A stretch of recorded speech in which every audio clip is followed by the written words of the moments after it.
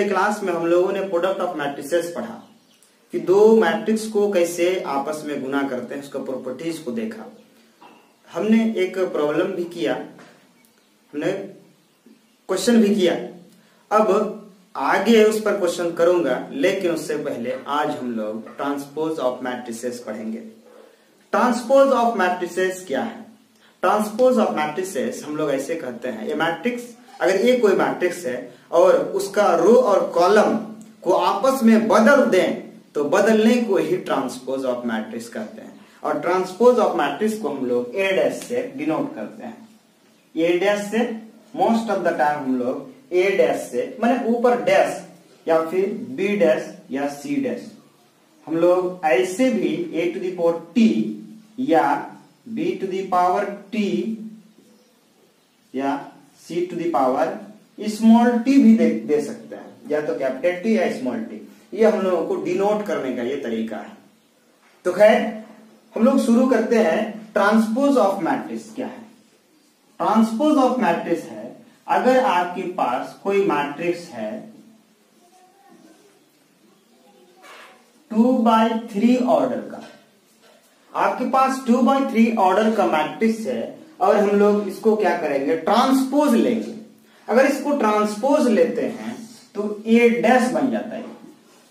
जब ए डैश बनता है, तब इसका इंटरचेंज हो जाता है। रो कॉलम में आ जाता है और कॉलम रो में आ जाता है। यानी ये पूरा लाइन एक रो था, ये कॉलम बन जाएगा। ये आर वन था, ये बन जाएगा क्या? C one one two three ये सी वन है।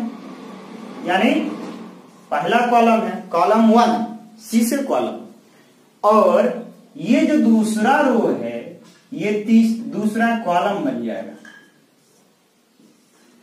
यानी अब थ्री बाय टू ऑर्डर का मैट्रिक्स हो जाएगा. पहले जो हम लोगों पास मैट्रिक्स था टू बाय थ्री ऑर्डर का, अब मैट्रिक्स चेंज होके थ्री बाय टू ऑर्डर का हो जाता है. कहने का मतलब ये है कि अगर कोई भी मैट्रिक्स है हमारे पास, उसको अगर इंटरचेंज कर देते हैं उसका रो को और कॉलम को तो मैट्रिक्स क्या हो जाता है? ट्रांसपोज हो जाता है। तो चलिए देखते हैं ट्रांसपोज ऑफ़ मैट्रिसेस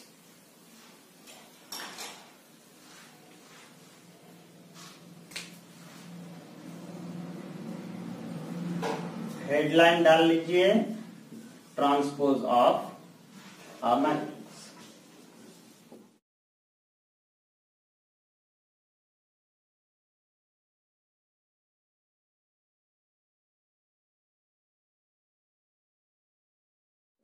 आज का टॉपिक हम लोगों का transpose of matrices transpose of matrix अगर हमारे पास कोई मैट्रिक्स है, ये कोई मैट्रिक्स है then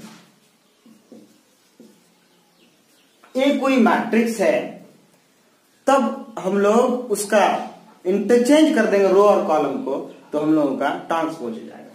Then the matrix obtained by interchanging rows and columns are called transpose of A. and is denoted by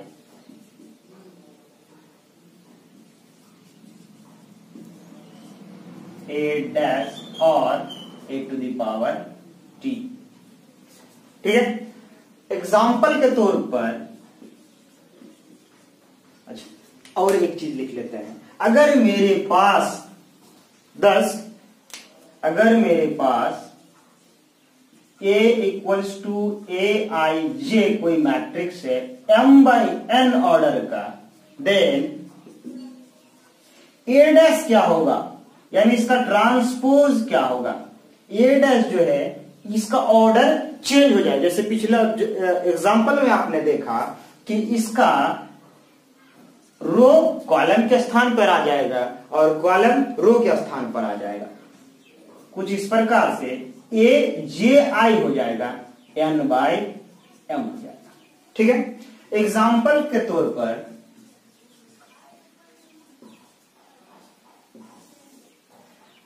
अगर मेरे पास एक मैट्रिक्स है one two three four five six ये टू बाई थ्री ऑर्डर का matrix है। ठीक है? मैंने जो एग्ज़ाम्पल लिया था, उसी को मैं एग्ज़ाम्पल फिर से लिया ठीक है? देखिए, अब हम लोग ट्रांसपोज लेते हैं। Taking transpose on both side जब हम लोग दोनों तरफ़ ट्रांसपोज लेते हैं, तब हमें मिलता है। क्या मिलता है? A dash equals to one two three four five six पहले हम लोगों के पास मैट्रिक्स था टू बाई थ्री ऑर्डर का। अब ऑर्डर चेंज होके थ्री बाय टू ऑर्डर हो जाएगा। ठीक है? अच्छा दिख रहा है कहाँ तक?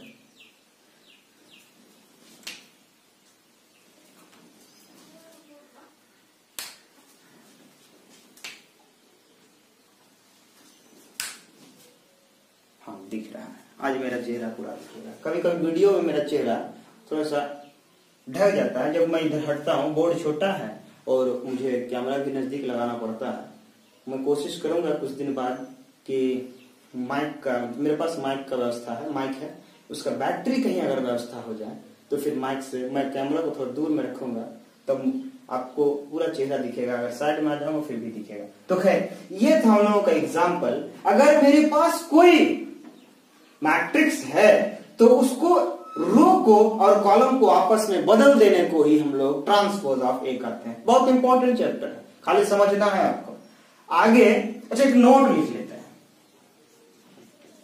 नोट ऐसे भी आप समझ गए। नोट में हम यही लिखने जा रहे हैं कि दो बाय तीन ऑर्डर का अगर मेरे पास मैट्रिक्स है तो ट्रांसपोज लेने के बाद कितना ऑर्डर का मैट्रिक्स होगा?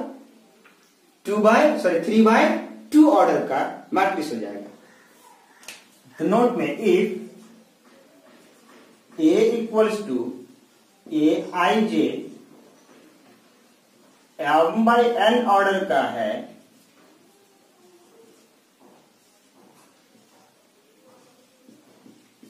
एम बाई एन ऑर्डर का मैट्रिक्स है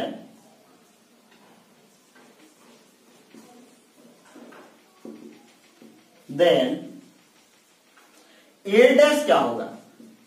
A dash equals to A J I N by M order का मैट्रिक्स हो जाएगा। एन बाई एम ऑर्डर का। B N N by M order matrix ठीक है? यहाँ तक। समझ गए?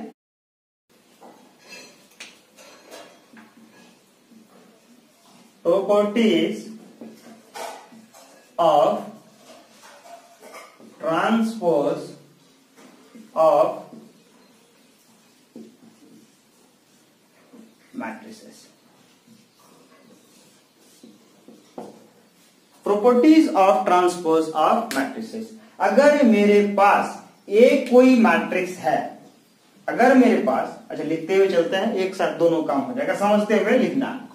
If A be an sorry a matrix किसी भी ऑर्डर का हो सकता है ऑर्डर लेना ज़रूरी नहीं है। If A be a matrix then अगर ए डैश को फिर से ट्रांसपोज लेते हैं तो फिर ये वापस ए बन जाता है। एग्ज़ाम्पल यहाँ पर ही ले लीजिए छोटा सा। अगर ए इक्वल्स टू मेरे पास one two three four five six अच्छा एक ही एग्ज़ाम्पल ले रहा हूँ। मैंने पिछले एग्ज़ाम्पल भी यही लिया, पिछला एग्ज़ाम्पल फिर यही लिया। अगर ए डैश लिया ट्रांसपोज लिया तो वन क्या बन गया?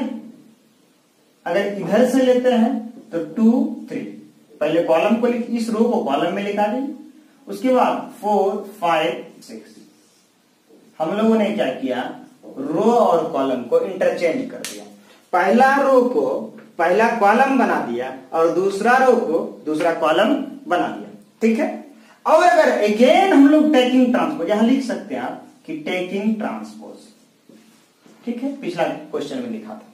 और अगर यहाँ पर फिर से हम लोग ट्रांसपोज लेते हैं again taking transpose on both side अगर फिर से हम लोग ट्रांसपोज लिए, तब हमें मिलता है we get G E T के तो ए डैश पर ऊपर में डैश बन जाता है और फिर से हम लोगों का रो कॉलम बनते हुए चलता है। इस पहला रो को पहला कॉलम बना देते हैं, दूसरा रो को दूसरा कॉलम बना देते हैं, और तीसरा रो को तीसरा कॉलम बना देते हैं। और ये ऑपस ये ऑपस अगर आपको दिख रहा होगा नीचे तो मैं लिखूँगा, ये opus A dash to the power dash equal to A बन जाता है ना? यहाँ ये जो वैल्यू था, ये ये बन गया। ठीक है? बहुत अच्छा। प्रॉपर्टी दूसरा है। दूसरा नंबर प्रॉपर्टी अगर मेरे पास A be a matrix and K be any scalar scalar का मतलब कांस्टेंट चाहे रियल हो या कॉम्प्लेक्स हो constant then K A to the power whole dash dash है यही transpose equals to K constant को बाहर करके ए पर डैश ले सकता है। ठीक है? ये भी एक क्वेश्चन है। ये भी एक प्रॉपर्टी हो गया। इस पर हम लोग क्वेश्चन करेंगे आगे चल के। इस पर क्वेश्चन करेंगे नीचे, जैसे इस पर एग्ज़ाम्पल तो ले लिया, दूसरे कर लेंगे। फिर तीसरा प्रॉपर्टी देखिए। ये सारा प्रॉपर्टी इंपॉर्टेंट है एग्ज़ाम में कभी कभी यही सब चीज़ पूछ देता है। क्या पूछता है कि अगर आपके पास क्वेश्चन इस प्रकार से रहता है, आप क्वेश्चन भी लिखते हुए चल सकते हैं। क्वेश्चन इस प्रकार से रह सकता है। If A dash sorry direct ही रहता है। कभी कभी ऐसे देते हैं। A dash all dash equals to फिर ऑप्शन दिया रहेगा ए नंबर में ए डैश बी नंबर में ए सी नंबर में ए स्क्वायर और डी नंबर में ए वन इस तरह से कुछ भी दे देगा। तो आपका आंसर क्या होगा? बी नंबर आपका आंसर हो जाएगा। ठीक है? चलिए। अब प्रॉपर्टी नंबर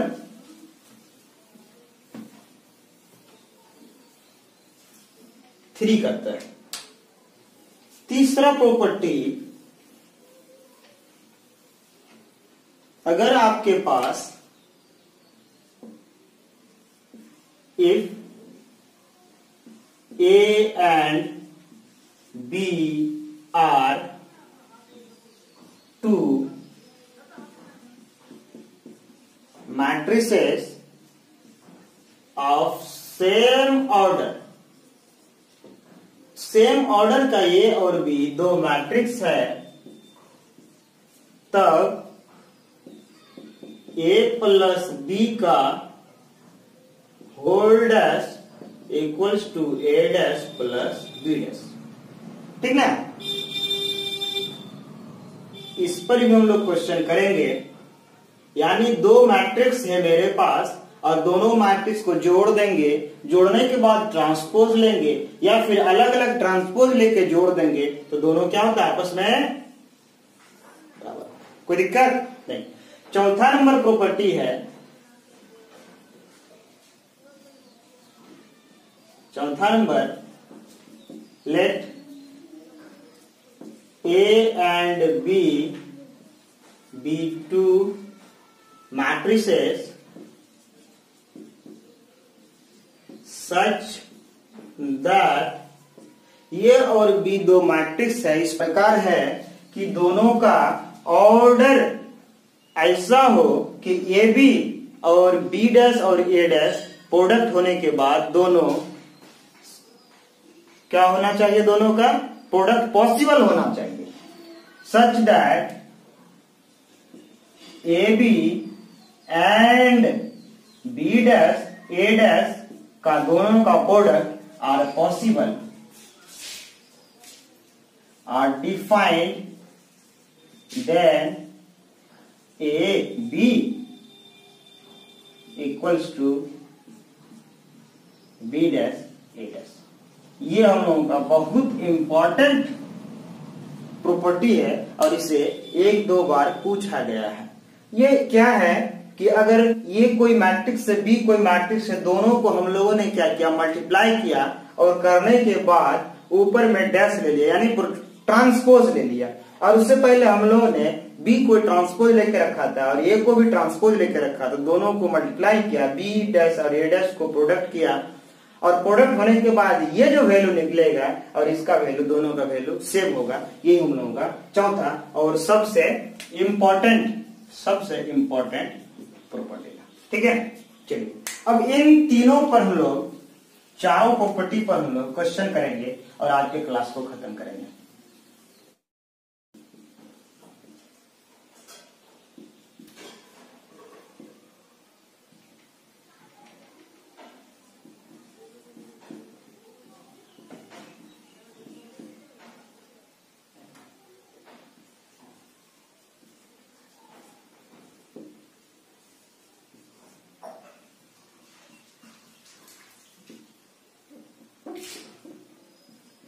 चलिए क्वेश्चन है, अगर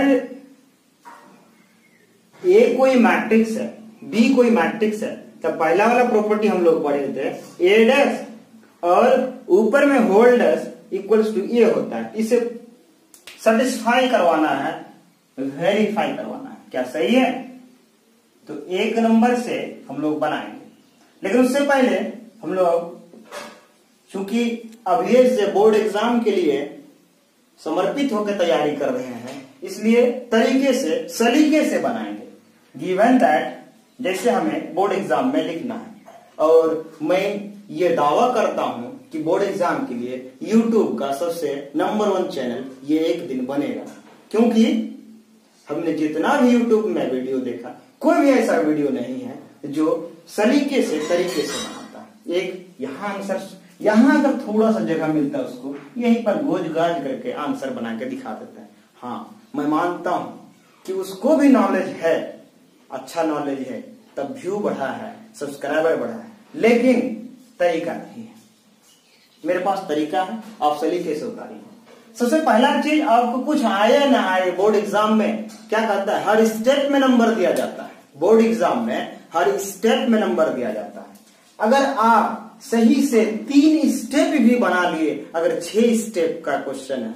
छह स्टेप में आंसर आता है। अगर तीन स्टेप आपने कंप्लीट किया तो आपको पूर्ण नंबर तो नहीं, कम से कम आधा नंबर निश्चित रूप से दिया जाएगा इसलिए आपको सलीके से, अभी से करना है। गिवन दैट कर लेना। यानी दिया हुआ है रूट थ्री और टू फोर टू ज़ीरो और दूसरा मैट्रिक्स दिया हुआ है। Two minus one two one, two, four. कोई भी मैट्रिक्स आप ले सकते हैं। दो बाय दो ऑर्डर का, सॉरी, दो बाय तीन ऑर्डर का दो मैट्रिक्स दिया हुआ है। तो पहला नंबर हमें करना है। क्या लिखा है पहला नंबर में? सबसे पहले ए को ही वेरीफाई करना। बी का आवश्यकता ही नहीं है पहले नंबर में। क्या है? ये दिया हुआ है फोर टू ज़ीरो। अब हम लोग लिखेंगे taking transpose on both side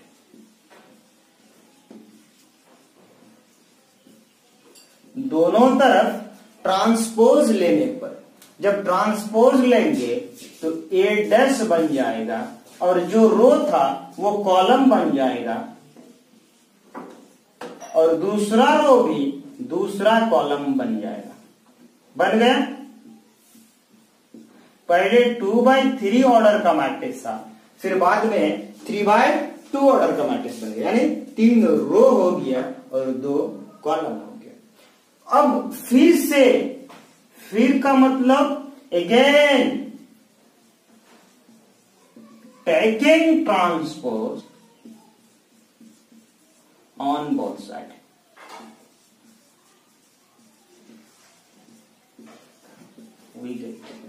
फिर से ट्रांसपोज लेने पर ए डैश पर होल डैश पहले डैश के ऊपर डैश बन जाएगा। चलिए, ऊपर ही देखिए। A dash to the power whole dash और ये मैट्रिक्स जो था थ्री इसका जो अब रो है, वो क्या बनेगा? कॉलम बनेगा। दूसरा रो, दूसरा कॉलम बन जाएगा।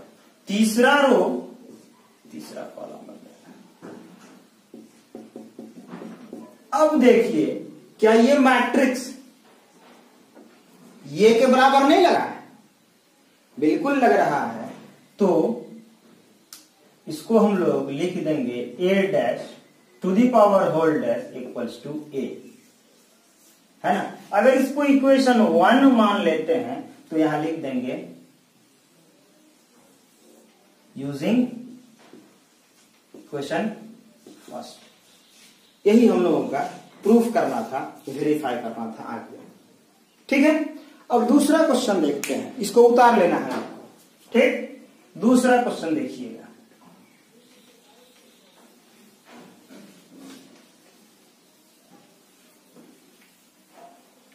दूसरा क्वेश्चन क्या कहता है? ए बी का डैश लेना है। तो हम लोग सीधे से बनाते चलेंगे। ए का और बी का डैश शुरू में ही ले लेंगे। दूसरा नंबर ध्यान देना है, यहाँ से लिख रहा हूँ। दूसरा, सबसे पहला चीज़ गिवन दैट करेंगे तो ए इक्वल्स टू मिलेगा three root three two four two zero और दूसरा जो मैट्रिक्स दिया हुआ है two minus one two one two four ये दिया हुआ है। ठीक है? अब क्या करना है? हमें यहीं पर ट्रांसपोज ले लेना। Taking transpose we get. हम दोनों मैट्रिक्स में ट्रांसपोज लेंगे तो ए डैश इक्वल्स टू हो जाएगा थ्री, रूट थ्री और two, four two zero. Three by two order का मैट्रिक्स बन जाएगा। पहले two by three order matrix था और थ्री बाय टू हमने पहले ही नोट में लिखाया था कि इसका ऑर्डर क्या हो जाता है? बदल जाता है। रो और कॉलम आपस में इंटरचेंज हो जाता है। बी में भी ट्रांसपोज ले लिए तो बी का मैट्रिक्स का जितना एलिमेंट है, वो भी आपस में रो और कॉलम में बदल गया। पहला रो को पहला कॉलम बना दिए, दूसरा रो को दूसरा कॉलम बना दिए। ये जो मैट्रिक्स था, ये कितना ऑर्डर का था? थ्री बाय टू ऑर्डर का था। ये बदल के टू बाय थ्री ऑर्डर हम लोग ये ट्रांसपोज हो गया। हम लोगों ने क्या किया? सिर्फ़ ट्रांसपोज लिया। बहुत सिंपल है, थोड़ा खाली समय देना है। अब हमें क्या करना है? ए और बी को जोड़ना है। ए प्लस बी इक्वल यानी ए का वैल्यू रखना है यहाँ। प्लस बी का वैल्यू रखना अब बोलिए ए का वैल्यू क्या है? ये है root sorry three root three two four two zero अब टू माइनस वन टू और वन टू फोर ये हम लोगों का वैल्यू है। इसको जोड़ के लिख लेते हैं ए प्लस बी को जोड़ के लिख लेते हैं। जोड़ने के बाद करस्पॉन्डिंग एलिमेंट को जोड़ेंगे, और जोड़ने का एक रूल है। क्या रूल है? जब दो मैट्रिक्स मेरे पास सेम ऑर्डर का हो, तभी जोड़ सकते हैं। सेम ऑर्डर का मतलब मैट्रिक्स कंपेरेबल होना चाहिए। सेम ऑर्डर का दोनों मैट्रिक्स है जब दोनों मैट्रिक्स सेम ऑर्डर है तो हम लोग करस्पॉन्डिंग एलिमेंट को जोड़ेंगे तो थ्री और plus two five root three और माइनस वन तो वही रह जाए उसको तो जोड़ नहीं सकते हैं। Two plus two four four plus one five two plus two four और ज़ीरो प्लस फोर फोर ये प्लस बी निकला। अब हमें क्या करना है? अब ट्रांसपोज लेना है। Taking transpose on both side we get हम लोग दोनों तरफ़ जब ट्रांसपोज ले रहे हैं, तब क्या मिला? ए प्लस बी का होल डैश हो गया। डैश का मतलब ट्रांसपोज ए प्लस बी का होल डैश हो गया। तो हम लोगों का रो और कॉलम आपस में बदल जाएगा। ये जो रो है, वो कॉलम में बदल जाएगा। दूसरा रो फिर दूसरा कॉलम में बदल गया। ये हम लोगों का थ्री बाय टू ऑर्डर का एक मैट्रिक्स बचा। अब हमें ये लेफ़्ट हैंड साइड में लिखना है। चाहे इसको इक्वेशन वन कर सकते हैं। अगर मर्ज करके बनाएँगे दोनों क्वेश्चन को जैसे पहले को बनाए, फिर दूसरे बना रहे हैं तो फिर मर्ज करके बनाएँगे तो इक्वेशन टू ले लेंगे। दोनों क्वेश्चन को साथ में लेके। अब क्वेश्चन को मैं मिटा रहा हूँ। तीसरा क्वेश्चन को रख के मैं मिटा रहा हूँ। बोर्ड छोटा है, थोड़ा तो एडजस्ट करना है। अब हम लोग अब फिर से नाउ अगेन सॉरी ऊपर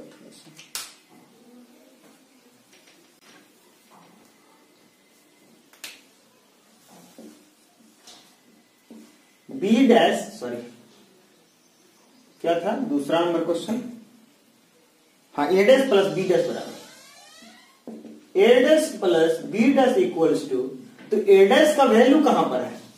हम लोग वहाँ जाएँगे। और बी डैश का वैल्यू कहाँ है? तो ये डैश का वैल्यू यहाँ है, यहाँ से हम लोग यहाँ रख देंगे। क्या रखेंगे? Three four root three two और टू ज़ीरो और यहाँ पर बी डैश का वैल्यू रखेंगे।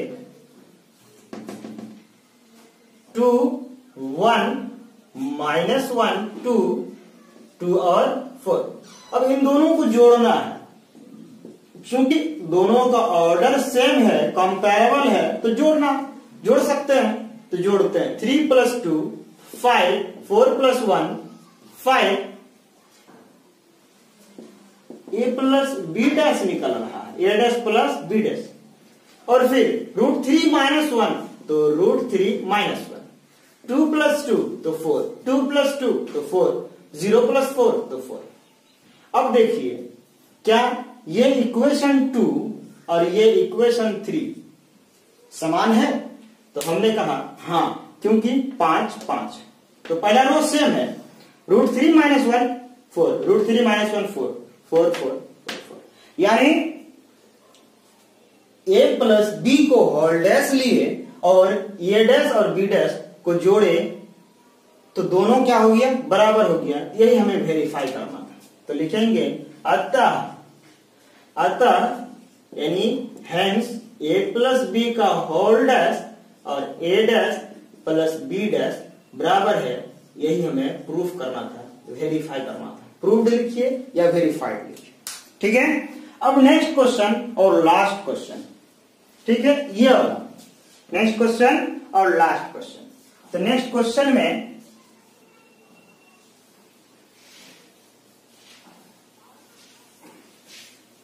अगर शुरू से लिखो तो ये का आवश्यकता नहीं है। बी लास्ट क्वेश्चन में ये का आवश्यकता नहीं। है तो सिर्फ़ इस तरह से लिख के बना सकते हैं।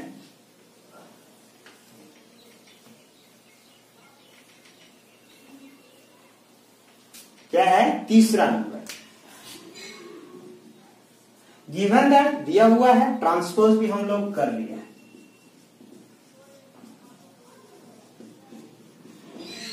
Taking transpose on both side we get हमको लिख लेना है। सलीके से लिखना है। एग्ज़ाम के लिए हम लोग तैयारी कर रहे हैं अब क्या करना है? के कोई मैट्रिक स्केलर है कांस्टेंट है बी से गुना कर देना है। तो के इंटू बी का वैल्यू क्या है? Two minus one two one two four ठीक है? अब है क्या कि के को अंदर डाल दीजिए। ठीक है? के को अंदर डाल दीजिए या ऐसे रहने दीजिए। तो हम लोग अंदर मल्टीप्लाई कर देते हैं। टू के माइनस के टू के के टू के और फोर के ये के भी है। अब ट्रांसपोज ले लेते हैं। Taking transpose on both side जब ट्रांसपोज लेंगे तो ये के बी हो जाएगा। के बी का होल्डर और इसको जब ट्रांसपोज लेंगे, दोनों तरफ़ ट्रांसपोज ले रहे taking transpose on both sides we जब दोनों तरफ़ ट्रांसपोज लेते हैं ये रो बन जाता है। Column two K minus K two K फिर ये बन गया के टू के और फोर के के चूँकि कांस्टेंट है तो बाहर two one minus one two two four K B का होल्डर्स अच्छा अब देखिए के बी का होल्डर्स इक्वल्स टू के तो है यहाँ। अब यहाँ बी डैश इस वैली को हम लोग बी डैश लिख सकते हैं? तो बोले हाँ लिख सकते हैं। ठीक है? इसको इक्वेशन वन रखते हैं, पहला अलग अलग करने से वन या तो फिर फोर तो फ्रॉम वन या यूजिंग वन अब यही चूँकि हमको प्रूफ करना था आगे या वेरीफाइड ठीक है? चलिए। अब नेक्स्ट क्वेश्चन और लास्ट क्वेश्चन नेक्स्ट और लास्ट क्वेश्चन चलिए देखिए लास्ट क्वेश्चन है। आज का। अगर मेरे पास एक मैट्रिक्स दिया हुआ है A equals to minus two four और फाइव और बी इक्वल्स टू दिया है वन थ्री माइनस सिक्स ये कोई मैट्रिक्स है। मैंने पहले ही कहा था कि अगर हम लोग प्रोडक्ट ऑफ़ मैट्रिसेस को बढ़िया से समझते हैं तो आगे चल के चाहे वो ट्रांसपोज हो या है, या चाहे सिमेट्रिक या स्क्यू सिमेट्रिक मैट्रिक्स हो हमको उसमें भी प्रोडक्ट का आवश्यकता पड़ेगा। तो प्रोडक्ट ऑफ़ मैट्रिसेस का सहायता से हम लोग ये ये डॉट ए क्रॉस बी निकालेंगे, ये डॉट बी इसमें क्रॉस और डॉट का कोई मान्य नहीं होता है। जब हम लोग वेक्टर पढ़ेंगे तो क्रॉस अलग डॉट अलग होता है। ये प्रोडक्ट का मतलब प्रोडक्ट है तो सबसे पहला चीज़, हम लोग सलीके के साथ तरीके से लिख लेंगे given that A equals to two four five and B equals to one three minus six ये दो चीज़ हम लोगों ने लिख लिया। और लिखने के बाद हमें आगे चल के बी डस और ए डस का आवश्यकता पड़ेगा। इसलिए अभी हम लोग यहीं पर ट्रांसपोज भी लेके रख देते हैं। Taking transpose on both side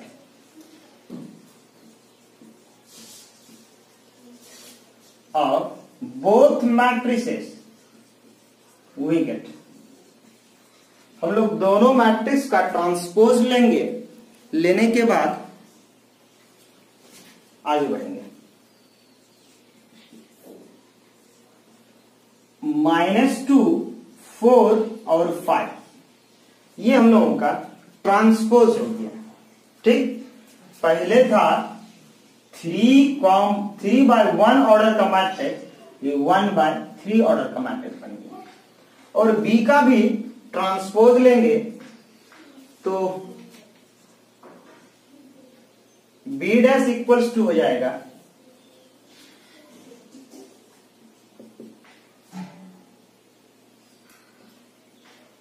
one three minus six ठीक है? पहले था वन बाय थ्री ऑर्डर का मैट्रिक्स अब हो गया थ्री बाय वन ऑर्डर अब हमें इस क्वेश्चन के अनुसार पहले ए गुना बी यानी मैट्रिक्स ए को गुना करेंगे मैट्रिक्स बी के साथ। तो now A B equals to A का वैल्यू है माइनस टू फोर फाइव और बी का वैल्यू है वन थ्री माइनस सिक्स एक बात फिर से रिव्यू कीजिए रिकॉल कीजिए। आपको समझ आएगा कि यहाँ पर दिया हुआ है थ्री बाय वन ऑर्डर का मैट्रिक्स और यहाँ क्या है? बोलिए। One by three order matrix चलिए। तो one by three order matrix है। हमने क्या कहा था कि मल्टीप्लीकेशन उस वक्त संभव होगा जब जिसको गुना कर, जिससे गुना करेंगे, उसका लास्ट और जिसको गुना करेंगे, उसका फ़र्स्ट सेम होना चाहिए ऑर्डर ऑर्डर का, इसका, यानी इसका कॉलम और इसका रो समान होना चाहिए। मैंने देखा समान है। तो प्रोडक्ट पॉसिबल है। जब पॉसिबल है, जब प्रोडक्ट करेंगे, करने के बाद कितना ऑर्डर का मिलेगा? तो थ्री बाय थ्री ऑर्डर का मैट्रिक्स मिलेगा। यानी हम लोग जो प्रोडक्ट करेंगे मल्टीप्लाई करेंगे तो क्या मिलेगा? थ्री बाय थ्री ऑर्डर का मैट्रिक्स मिलेगा। तो सबसे पहला चीज़, एक रो को पकड़ते हैं, एक कॉलम के साथ करते हैं। फिर उसी रो को दूसरा कॉलम फिर उसी रो को तीसरा कॉलम यही काम करना है। माइनस टू टू गुना वन तो माइनस टू एक एलिमेंट खत्म हो गया क्योंकि यहाँ से और कॉलम एक ही एलिमेंट था, नहीं आगे टू इंटू माइनस थ्री तो minus six sorry two into three minus six minus two into minus six plus twelve four into one four four into three twelve four into six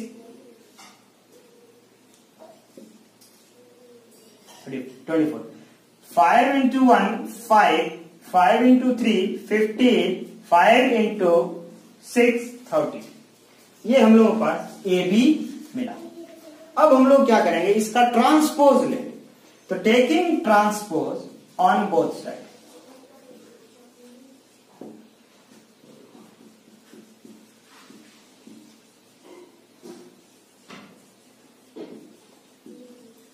दोनों तरफ़ transpose लेने के बाद A B का holders और equals to ये आपस में बने क्योंकि ये स्क्वायर मैट्रिक्स है थ्री बाय थ्री ऑर्डर का तो रो और कॉलम जो चेंज होगा तो लगेगा कि नहीं, समान ही रह गया। क्योंकि समान रो ही है।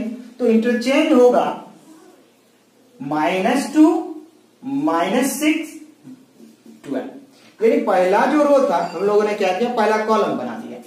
फोर ट्वेल्व और twenty four minus five fifteen और थर्टी माइनस ये हम लोगों का यहाँ तक सॉल्व हुआ। ठीक है? आगे हम लोगों को सॉल्व करना है। यहाँ बी डैश ए डैश चाहिए। ए बी का होल डैश मिल गया। अब बी डैश ए डैश निकालेंगे तो क्या बराबर होता है? वही चीज़ हम लोग देखेंगे। ध्यान दीजिए। And B dash A dash equals to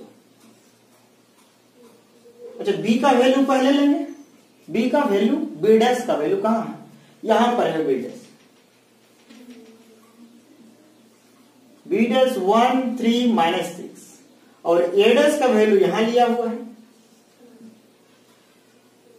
Minus two four and five multiply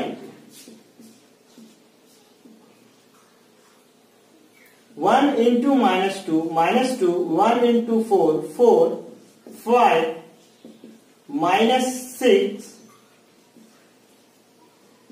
twelve, fifteen.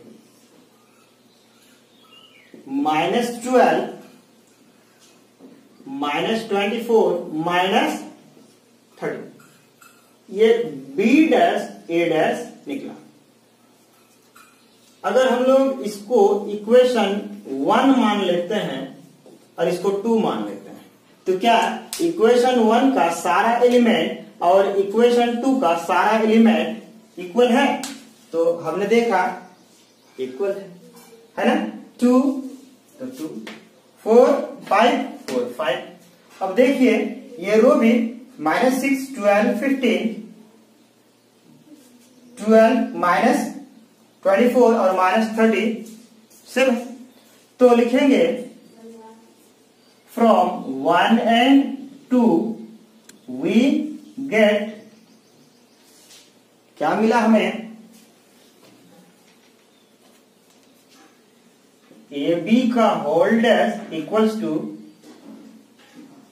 B dash A dash और यही हमें निकालना था प्रूफ हो गया ठीक है? तो चलिए, आज के लिए इतना ही।